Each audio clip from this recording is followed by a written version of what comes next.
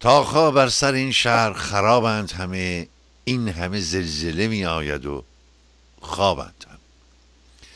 عرض ادب دارم خدمت شما میرانم آقای سپر خسوی عزیز برنامه رو هدایت می‌کنه سیمانه ازشون سپاس گذار داشتم گزارش نشریه فوکوس رو میخوندم چاپ اروپا از اون که در ایالات متحده آمریکا. گذشت ببیش در حاشیه این اجلاس محافظ کارها که آقای ترامپ هم در اونجا سخنرانی کرد و گفتگو و مناظره با چی؟ با هواداران جوان آقای ترامپ در محیط های دانشگاهی و شکایت اونها از این که بسیاری از پروفسورهای دانشگاه استادان دانشگاه همینطور دانشجویان با نظرات اونها سخت مخالفت می‌کنن و نوعی احساس ترس در اونها دمیده شده از به اصطلاح بیان آزاد عقایدشون. این ادعای هواداران جوان آقای ترامپ خود این مسئله نشون میده که در ایالات متحده آمریکا واقعا جامعه دوپاره شده. جامعه کاملا دوپاره شده تا اونجایی که حتی صحبت از اینی که ممکن امسال مراسم اسکار تبدیل بشه به مراسمی علیه دوران زمانداری آقای دونالد ترامپ. خیلی از هنرپیشه ها کسانی که دعوت دارن در این مراسم پیشا پیش ظاهرا برنامه هایی برای ابراز اعتراض راهی کرد. اما در مورد پناهجویان و مهاجران. در خود ایالات متحده آمریکا تصدیق بر این که شماری از اونها که دارای پیشینه هستند و سوی سابقه از این مملکت اخراج بشن برآورد شده که بیش از 11 میلیون مهاجر غیرقانونی در ایالات متحده آمریکا هست. نمیشه به این ارقام زیاد اعتماد کرد. من تا 20 میلیون هم شنیدم. 20 میلیون مهاجر غیرقانونی که در نقاط مختلف ایالت های متعدد در اینجا ساکنند و برخی کار می‌کنن برخی هم سوی پیشینه دارن. در دوره آقای اوباما هم دو میلیون و پانصد تن از این دست مهاجران از مملکت اخراج شدن. یعنی چیز جدید نیست. ولی به نظر می‌رسه که الان تصمیم دارن که جمع بیشتری رو وادار به خروج از آمریکا بکنن تا آقای ترامپ از استفاده از نیروی نظامی سخن به میان آورد که البته آقای جانکلی وزیر امنیت داخلی این موضوع رو رد کرد و اصلا قضیه استفاده از نیروی نظامی مطرح نیست. اما قرار نیست که مهاجران رو به طور دست جمعی اخراج بکنیم چون این خودش باعث نگرانی مقامات مکزیکی شده بود که اگر ناگان آمریکا دست به یک اقدام کلان می‌زنه در اخراج پناهجویان مکزیک باید چه کنه با این وضع اقتصادی که داره؟ اخراج پناهجویان رو فکر کنید که کار ارزانی است. یه نمونه من به شما میدم. در آلمان همین چند مدت پیش 24 نفر یک جا اخراج شد. اینا کسانی بودن که واجد صلاحیت نبودن. درخواست پناهندگی داده بودن. پناهندگی اونها از سوی مراجع مسئول رد شده برای اخراج اونها هفتاد یک نیروی پلیس به کار گرفته شد. یعنی تقریبا برای هر نفر سه محافظ سه پلیس. یک گروه هیئتی که از سوی نهادهای مدنی آمده بودن. مبادا اینها هنگام اخراج زیر فشار قرار بگیرن یا حقوق انسانی اونها ضایع بشه. که بعدا اینها بتونن علیه مقامات دولتی شکفایی تنظیم بکنند و به مراجع مسئول شکایت بکنند. به اضافه مترجم فارسی. پس به نظر می که کسانی که اخراج شدن فارسی زبان بودن به احتمال زیاد از افغانستان. به احتمال زیاد. هزینه ای که بابت اخراج اونها هزینه که به اصطلاح روی دوش دولتمان چیز حدود 400 هزار دلار بود. برای اخراج 24 نفر. برای اخراج 24 هزار چیز حدود 400 هزار نفر هزینه شده بود و یه گروه هم که اخیرا مجددا 18 تن از افغان ها رو اخراج کردن که تازه خود این مورد اعتراض برخی از وزرا در ایالت های مختلف آلمان. روبرو شد. اونها معتقدن که افغانستان در جنگ داخلی است. اعزام افغان هایی که به آلمان فرار کردن خب فاقد فاقد به اصطلاح ارزش های انسانی است. مضاف این که افغانستان وضعیت ناجوری داری که باید کشورهای اروپایی برای بازگرداندن نظم اون کشور مداخله جدیتری داشته باشن. چون اگر افغانستان هم از نظر اجتماعی دچار فروپاشی بشه اونا بابیداست و باید منتظر بود که باز میلیون ها تن از افغانستان فرار کنن به سمت اروپا. چه توصیه اینه که به جایی که ما در فکر اخراج پناهجویان باشیم که الان شمارشون به یک میلیون و سیصد هزار رسیده به تنهایی از سال 2015 وارد آلمان شدن. به تنهایی در آلمان یک میلیون و سیصد هزار. میگه به فکر اخراج اونها باشیم بیام به فکر به اصطلاح ایجاد ایجاد سطح در برابر سیلابی باشیم که بعدا ممکنه اروپا رو در خطر جدی قرار بده. یعنی بریم در محل و اقداماتی در اونجا صورت بدیم برای حفظ نظم و ایجاد امنیت و بعد فراهم کردن شرایط ساختاری برای اینکه مردم افغانستان بتونن در رفاه و آسایش در مملکت خودشون زندگی کنن. در غیر این صورت باید منتظر سیلاب تازه انسانی از سوی افغانستان بود. همین وضعیت در مورد ترکیه هم صدق می‌کنه. سه میلیون مهاج... سه میلیون پناهجوی خاورمیانه که ترکیه رفتن. ترکیه هم اگر در نهایت با اروپا به توافق نرسه و ممکنه که دروازه هاش رو باز بکنه. و ترکیه هم سیلابی از انسان رو رایی کشورهای اروپا بکنه اروپا سخت در در, در هم در مزان فشار تهدید از ناحیه وقایی که داره در منطقه خاوری میانه میگذره. همین الان ارجمندم. می‌خوایم بریم به سراغ کارشناس استاد رشته و غذا در تگزاس در دانشگاه تگزاس سکا خانم سانا زرسی عزیز که او رو می‌شناسیم. بارها در همین برنامه بوده. ما از دانش رو اطلاعات حقوقی و بهره گرفتیم. ببینیم که اول در دانشگاه چه میگذره بعد این قوانین تازه خب، اجرایی که آقای ترامپ صادر کرد که البته با مقاومت روبرو شد. اون حکم رو کنار گذاشتن. حکم تاجی در دستور کار قرار گرفته. ببینیم جزئیاتش از چه قراره. و بعد اگه قرار بشه که اینها اخراج بشند یک خیلی مسئله مهمی است. به چه صورت؟ چون ایشون گفت که با استفاده از فرس نظامی نیروهای نظامی خب ببینیم که اخراج ها به چه صورت خواهد بود. بعد یه نکته دیگری هم از شایع شده بود که 2500 حدود 2500 تن یک قرار محرمانه ای که دولت برجام آقای اوباما گذاشته از ایرانیان اینها با به قصد سرمایه گذاری در ایالات متحده آمریکا صاحب گرین کارت میشن. کارت اقامت دائم. یا شدن یا خواهند شد. ما ببینیم اصلا چنین قراری وجود داشته قرار محرمانه بین دولت اوباما و دولت برجام دولت آقای خاتمی. و اگر آری دولت آمریکا قراری که به اونها چه کار بکنن که گیرین کارت گرفتن از طریق به اصطلاح گفتگوهای محرمانه ای که بین مقامات جمهوری اسلامی و مقامات ایالات متحده آمریکا صورت گرفته بود. خانم دکتر سانا زلسی درود بر شما. خوش آمدید. درود به شما آقای میبادی گرامی و درود به همه بینندگان عزیز. امیدوارم حالتون خوب باشه. خسته نباشید. مرسی خیلی ممنون.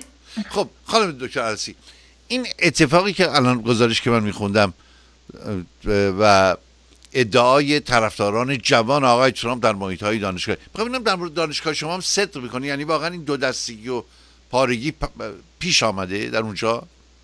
بله در اینجا هم وجود داره با اینکه خب دانشگاهی که من تدریس می‌کنم در تگزاس در ایالت های جنوبی آمریکا واقع شده که خب ایالت های جنوبی بیشتر جمهوری خواه هستن ریپابلیکن هستن ولی در دانشگاه ها به علت اینکه فکولتی دانشگاه اساتید دانشگاه بیشتر گرایشات لیبرال دارن این دو دستگی غیر از اینکه حالا بین گروهی از دانشجویان که لیبرال هستن و گروه دیگری که conservative هستن وجود داره خیلی یک حالت conflict و تناقضی توی عقاید اساتید با گروهی از دانشجویانی که Republican هستن و محافظه کار هستن وجود داره که خب یک مقدار به نظر من فضای مناسبی رو برای محیط اکادمیا محیط درسی ایجاد نکرده و به نظر من این دو دستگی اصلا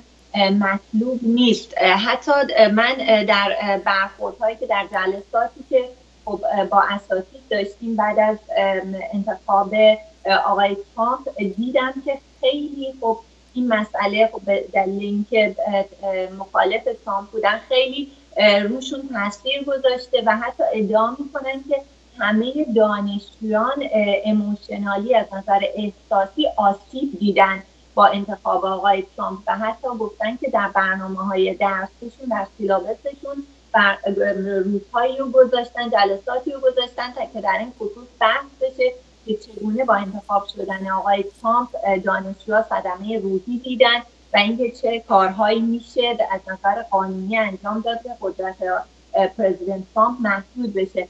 خب وقتی یک استاد با همچین دیدگاهی میاد سیلابس درسی خودش و برنامه درسی خودش رو می‌نویسه و اینجوری فکر می‌کنه که تمامی دانشجویانی که در سر کلاس هستن موافق اون هستن. خب به نظر من کاملا اشتباه هست. یک استاد باید کاملا بیطرف باشه نیوترال باشه و همیشه در نظر بگیره که در کلاس گروهی هستن که ممکنه موافقش باشن و گروهی مخالفش باشن. و غیر از این مسئله همیشه این که اساتید بحث سیاسی در سر کلاس نکنن. در صورتی که مربوط به درسشون و برنامه درسی نمیشه یکی از پالیسی های داخلی دانشگاه ها هست که به اساتیدی که تازه استخدام می‌کنن همیشه این مسئله رو گوشزد می‌کنن که در صورتی که مطالب سیاسی مربوط به مطلب کلاس نمیشه اساتید نباید در این موارد سر کلاس صحبت کنند. ولی شوربختانه برخی از اساتید خیلی احساساتی شدن در دانشگاه های آمریکا و مسائل سیاسی و گرایشات سیاسی خودشون رو وارد کلاس. می‌کنن و سعی می‌کنن به دانشجوها تحمیل بکنن که کاملا اشتباه هست. بنابراین اصل آزادی بیان داره به خطر میفته بله این مسئله که خب واقعا وقتی که یک عده از دانشجویان سر کلاس هستن خب احساس می‌کنن که اساتیدشون خب همه مخالف ترامپ هستن و شاید به خاطر نمره از ترس نمره حتی این جرأت رو نداشته باشن که بخوان ابراز مخالفت بکنن. در نتیجه این تصور برای اساتید برخی از اساتید ایجاد میشه که خب همه دانشجویان هم موافق اونها هستن. در صورتی که این چنین نیست. وقتی که خب من دیدم وقتی که یک مقدار موقع صحبت کردم با دانشجوها حالا فقط نه در خصوص مسائل سیاسی. در مورد موارد دیگری هم که خب بالاخره گروهی موافق و گروهی مخالف هستند وقتی به صورت نیوترالتر و بیطرفانه تر صحبت بشه هر دانشجویان مختلف به راحتی ابراز نظر می‌کنن. و این چیزی هستش که باید واقعا در سر کلاس اجرا بشه. و اینکه فکولتی دانشگاه اساتید دانشگاه نظر خودشون رو یک طرفه بخوان اجبار بکنن به دانشجوهاشون بسیار خطرناک است برای محیط اکادمی. جالبه. ببینم شما وقتی که انقلاب شد کجا بودید؟ آمریکا بودید؟ من انقلاب شد دیگه بعد از انقلاب من به دنیا اومدم. پس انقلاب رو به خاطر چون نمیاد. چون یه صحنه های من امروز میخون. آره. خیلی شنیدم. درسته که بله. حضور نداشتم و داستان ها رو شنیدم. من امروز داشتم این گزارش فوکوس رو میخوندم یادم افتاد به محیط های دانشگاهی قبل از انقلاب ایران شبهای انقلاب. همین اختلافات وجود داشته و همین درگیری ها در محیط های دانشگاه حالا شما در یک ایالت جنوبی هستید. می‌خوام ببینم که این درگیری بین استاد و دانشجو یا بین استاد و استاد هم هست؟ من حتی در دانشگاه ها من خب تجربه خودم رو در دانشگاه میگم که خب من می‌دونم که برخی از اساتید که خب شاید تعداد اندکی باشن در مقابل اساتید لیبرال هم حضور دارن در دانشگاه ها مخصوصا دانشگاه های ایالت های جنوبی. ولی چون اکثریت با لیبرال ها هست و افرادی که مخصوصا پست های کلیدی تر رو دارن رئیس دیپارتمان هستن یا رئیس دانشگاه هستن بیشتر گرایشات لیبرال دارن من احساس می‌کنم یک مقدار اساتیدی که محافظه کار هستن سعی می‌کنن کمتر ابراز عقیده بکنن و کانفلیکت و درگیری به وجود ندارن. که البته به نظر من اگر مسئله حمایت از دانشجویان باشه واقعا اون اساتید محافظه کار هم نباید کوتاه بیان باید ابراز عقیده کنن. ولی به نظر من شاید هم اون اساتید محافظه کار خیلی در مقابل لیبرال ها بتونه بهتر باشه به خاطر اینکه اگر خب خیلی اختلاف به وجود بیاد محیط دانشگاه به سمت دیگه ای کشیده میشه که واقعا به نظر من درست نیست بله. داریم گفتگو می‌کنیم با سکه خانم دکتر ساناز علستی عزیز استاد رشته حقوق جزا هم هم در ایالت تگزاس. خانم دکتر علستی بریم بر سر این شایعی که در گرفته در مورد 2500 ایرانی که قرار بود به توصیه حکومت جمهوری اسلامی به آمریکا بیان اینجا بهشون گرین کارت داده بشه بتونن سرمایه گذاری کنن و در اینجا بمونن. اما اون افراد رو جمهوری اسلامی به دولت اوباما معرفی می‌کرده. می‌خوام ببینم که این شایعه تا چند درسته؟ ببینید هنوز از طرف ادمینستریشن ترامپ این خبر تایید نشده. در دست بررسی هستش. و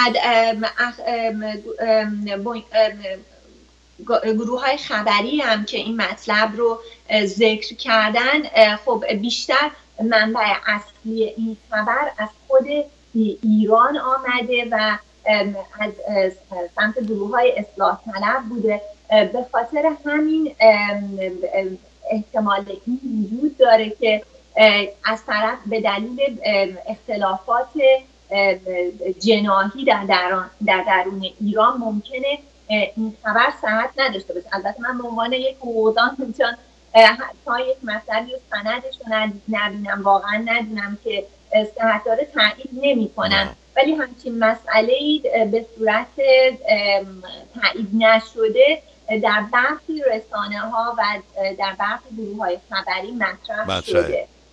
خب حالا سوالی اصلا فرض بر این می‌گیریم که خبر درسته. فرض بر این می‌گیریم. من که نمی‌دونیم؟ تو دولت فعلی چه کار می‌تونه با اونها بکنه؟ از در قانونی.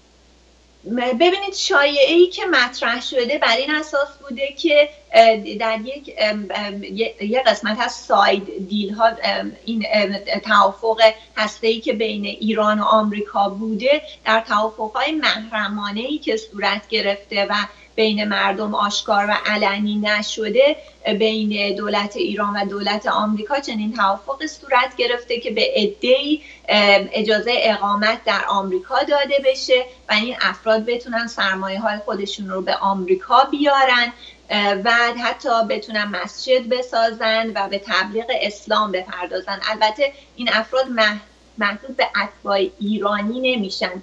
اتباع کشورهای عراق و سوریه رو هم گویا شامل بله. هستند و اگر همچین اتفاقی افتاده باشه و این افراد اومده باشن خب این به دستور مستقیم آقای جان کری بوده و خب در دوران آقای اوباما کاملا قانونی بوده ولی با توجه به روی کرد که خب آقای ترامپ نسبت به مسئله اسلام رادیکال و اسلامیک تروریزم داره خب در صورتی که صحت چنین امری ثابت بشه مسلما با واکنش از طرف پرزیدنت ترامپ ما مواجه خواهیم شد.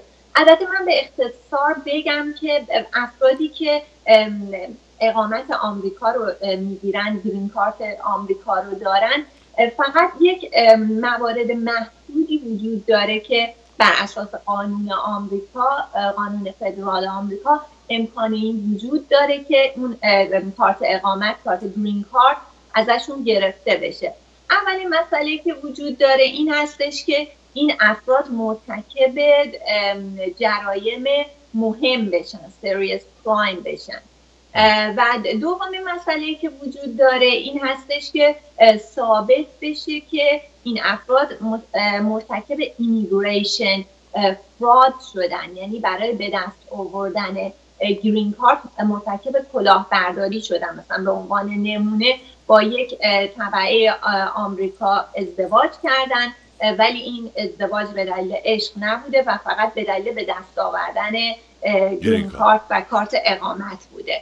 و یا اینکه بیش از 180 روز خارج از آمریکا باشند و به آمریکا مراجعت نکنند یا مشخص بشه که در اپلیکیشن فرم هایی که برای کارت اقامت خودشون پر می‌کردن آمدانه دروغ گفتن و اطلاعات غلطی رو نوشتن. در چنین مواردی هستش که گرین کارت افراد کارت اقامت افراد می‌تونه ملغا بشه و ازشون گرفته بشه که به عنوان ریووکیشن گرین کارت در قانون فدرال ازش نام برده شده.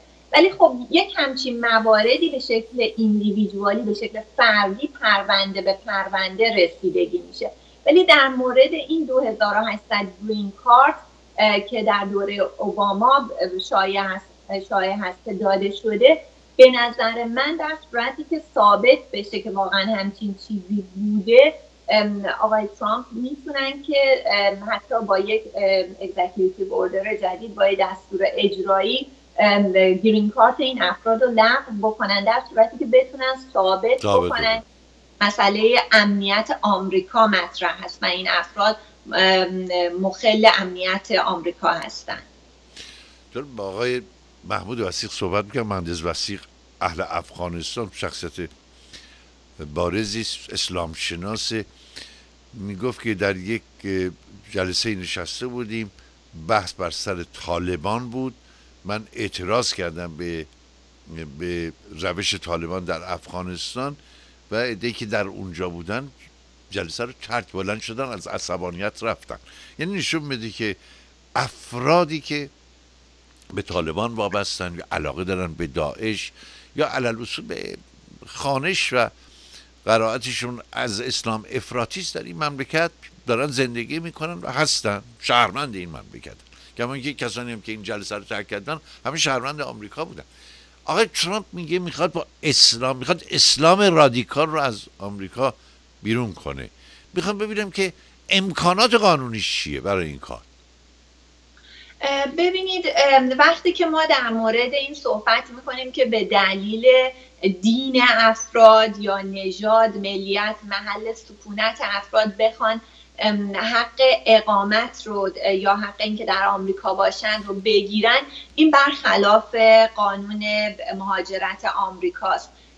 و چنین اجازه داده نمیشه. ولی ما با یک مسئله دیگری مواجه هستیم و اون مسئله این هستش که آیا وقتی که آقای ترامپ میگن اسلام رادیکال یا اسلامیک تروریزم تروریست اسلامی گروه های تروریست اسلامی به همه مسلمانان و کسانی که واقعا اعتقاد به اسلام دارن به صورت خیلی صلحآمیز اسلام رو practice می‌کنن دعا می‌خونن نماز می‌خونن. آیا شامل این افراد میشه یا خیر؟ فقط شامل عده‌ای میشه که در اقلیت هستن و این افراد به گروه های تروریستی وابسته هستند و با توجه به اعتقاداتی که اسلام رادیکال و این گروه های تروریستی دارن به جهاد علیه کافران و آمریکایی ها اعتقاد دارند و هیچ هیچ واهمه ای از اینکه مرتکب جرم و جنایت و بمبگذاری در آمریکا بشن رو ندارن. اگر ما بگیم که فقط منظور آقای ترامپ گروه اول بوده یعنی همه مسلمان ها حتی اونهایی که به شکل peacefully با صلح و آرامش به نماز و دعا می‌پردازن و اسلام رو practice می‌کنن خب این این کار آقای ترامپ ناقض قانون خواهد بود قوانین آمریکا خواهد بود و چنین اتفاقی به نظر من با توجه به قوانین آمریکا نخواهد افتاد. خب. ولی آقای ترامپ بتونن در خب بالاخره قانونی که می‌خوان تصویب کنن یا اگزیکیوتیو اوردر دستور اجرایی که می‌خوان صادر کنن با گروه مشاوران حقوقی خودشون مشورت کنن و از نظر واقعا language و زبانی که استفاده میشه در قانون جدید یا executive order جدید به گونه ای باشه که با قوانین آمریکا مشکلی نداشته باشه و هدفشون فقط گروه های تروریستی اسلامی و افرادی که وابسته به اون گروه ها هستن باشه. خب واقعا national security و امنیت ملی آمریکا ارجحیت پیدا می‌کنه و چنین کاری رو می‌تونن که انجام یعنی نمی‌تونن به انگیزه حفظ امنیت ملی دست به چنین کاری بذارن یا حکم اجرایی جدیدی صادر کنن ها؟ بله ببینید فقط هم در دوره سی ثانیه وقت داریم خانم. دوره آقای ترامپ نبوده. در دوره های قبلی در دوره آقای بوش و پرزیدنت های قبلی آمریکا هم ما دیدیم در مواقعی بوده که حتی حقوق آزادی های افراد با مسئله امنیت ملی در مقابل هم قرار گرفتن در مواقعی بوده که پرزیدنت ها در آمریکا رؤسای جمهور در آمریکا مسئله امنیت ملی رو اهمیت بیشتری بهش دادن. هرچند که این هم باعث میشه که حقوق آزادی های اطراف حقوق و آزادی های افراد تا حدی محدود, بشه به این دلیل. خانم دکتر خیلی تشکر می‌کنم. لطف کردید. تا دیداری دیگر گفتگوی دیگر. موافقید؟ بله خیلی ممنون. خونه جدیدم مبارک باشه. مرسی خیلی این خونه جدید بود دیگه بله بله. مبارک مبارک. تشکر. سبر قصوی عزیز سپاس گذارم